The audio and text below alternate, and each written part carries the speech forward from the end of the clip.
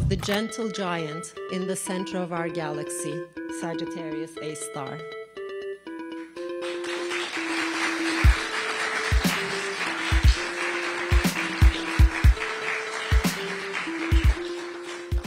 It seems that black holes like donuts.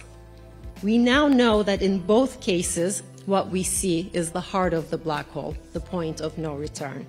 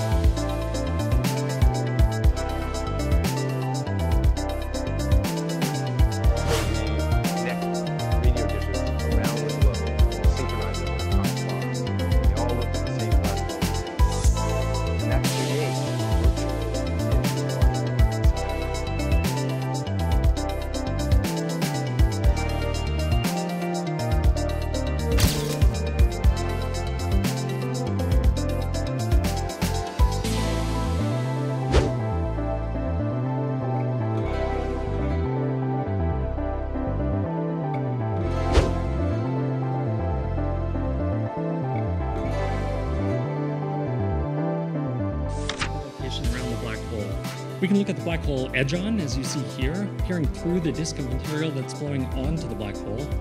Or we can tilt our camera at any other inclination and view the, view the black hole face-on uh, from above. We can also vary the properties of the black hole itself, allowing it to